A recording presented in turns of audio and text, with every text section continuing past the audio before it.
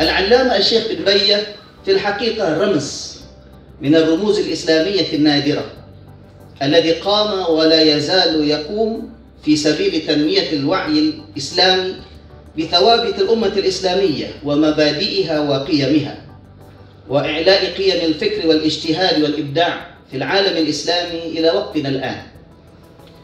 فكأننا نلمس بأن أمتنا هذه بعد طول التجارب في مفترق الطرق.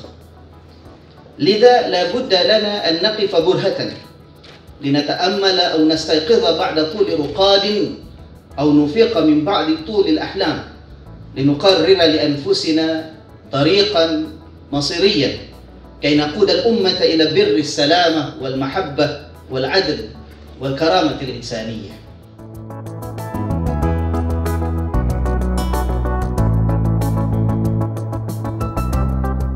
الإسلام في كل مكان. هو السلام والمحبة والتآلف والتناصح والتراحم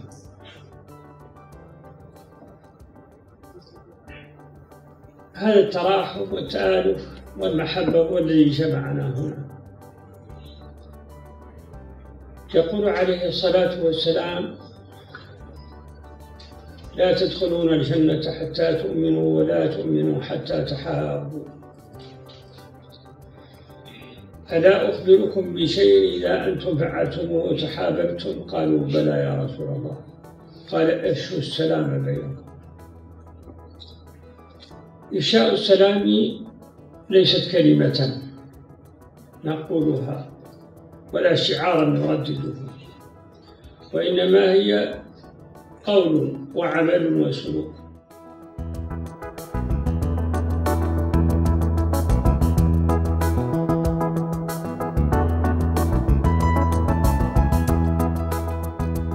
لكنها الرحمة لكنها الرحمة هي أصل الوجود. الرحمن علم القرآن خلق الإنسان علمه البيان الشمس والقمر بالحسبان والليل والشتاء الرحمن. فيض من الرحمن. الجود أصل الوجود. لأنه لا يجب عن الله شيء. فهو خلق الإنسان وجعله مرحوما لكن الإنسان قد يتنكر عن هذه الرحمة ليؤذي غيره.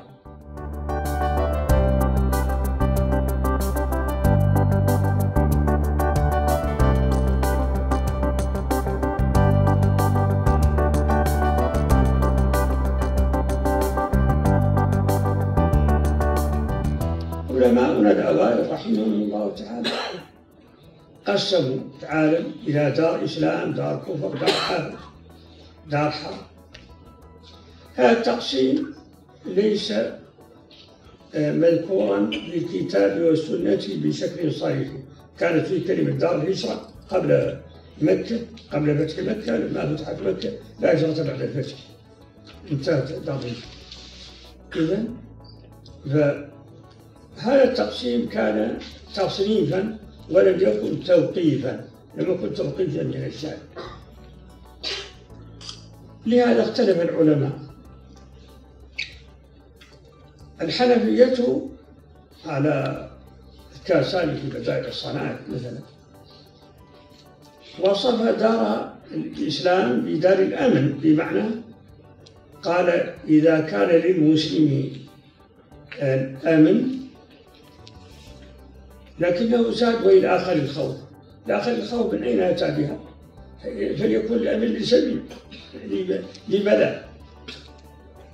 النووي والماوردي يعني جماعة تعرفونهم؟ قالوا إذا وجد بيت واحد في بلد كل أهله من الكفار أي من غير المسلمين فهذا البيت يجعل هذه الدار دار إسلام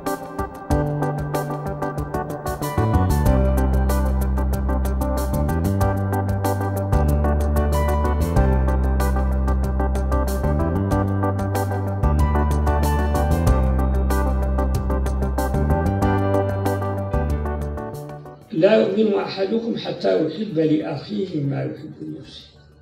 أخيه هذا من هو؟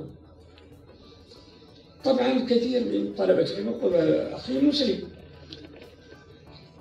آه، أو يقول أخي هو شافعي. على مذهبي.